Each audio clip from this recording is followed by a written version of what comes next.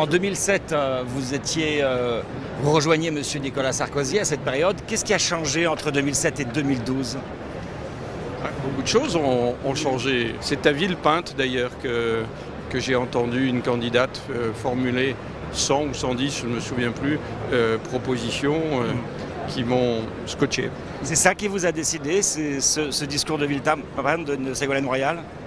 Oui, euh, oui, parce que j'étais chargé du chiffrage. Et au fur et à mesure que je découvrais, puisqu'on les découvrait, ces propositions, je me disais, mais comment, comment on va faire? Ça ne tient pas la route. Et puis ensuite, il y a eu euh, 48 heures chaudes qui ont abouti à mon départ. Mais bon, c'est presque de l'histoire ancienne maintenant. Et euh, mais qu'est-ce qui peut faire que Nicolas Sarkozy gagne aujourd'hui?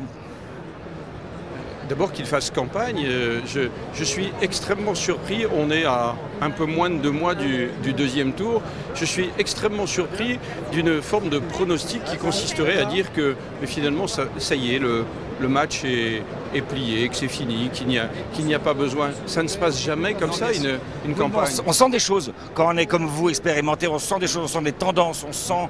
euh, euh, quand, quand Ségolène Royal en 2007 était à Villepinte, ça marchait pas. On sentait que ça, qu'elle- ça- ça- ça- ça- alors que Nicolas Sarkozy, ça, ça marchait. Il y a un truc qui marche pas là. Je ne sais pas. C'est inquiétant quand même. Je ne sais pas, il y a, il y a effectivement des, des mises en cause. Euh, De toute façon, le, être politique, c'est pas un, un art du pronostic. C'est dire, voilà ce que je crois, voilà ce que je, que je pense la personne être le plus qualifiée.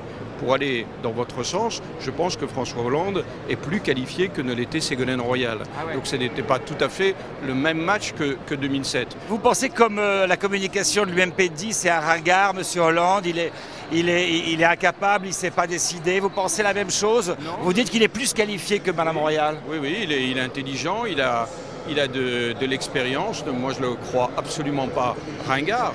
Le, problème de, François Hollande, c'est sa trop grande habileté, sa, sa capacité à essayer de suggérer en permanence sur tous les sujets tout et l'inverse de tout, avec l'idée qu'il croit issu du mitterrandisme qu'il y a deux temps, le temps de la conquête, où finalement on peut dire beaucoup de choses et, peu importe, et le temps de la gestion où on rectifie.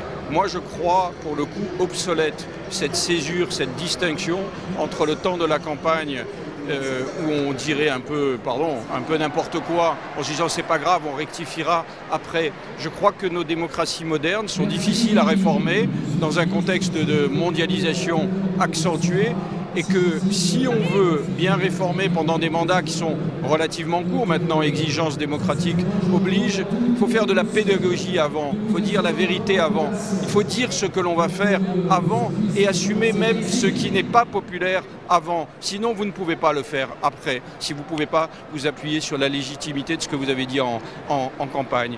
Et je pense que François Hollande, en ce moment, est beaucoup trop habile et dit des choses euh, beaucoup trop contradictoires sur euh, beaucoup de sujets. Mais par ailleurs, si vous voulez me faire dire que c'est quelqu'un d'intelligent, cultivé et qui a le, le sens de la gestion publique, oui, bien sûr. Qui est capable d'être président? Mais il y, a- il y a beaucoup de. Ça n'est pas péjoratif ce que je vais vous dire. Il y y a beaucoup de personnes qui peuvent revendiquer la, la présidence de la République.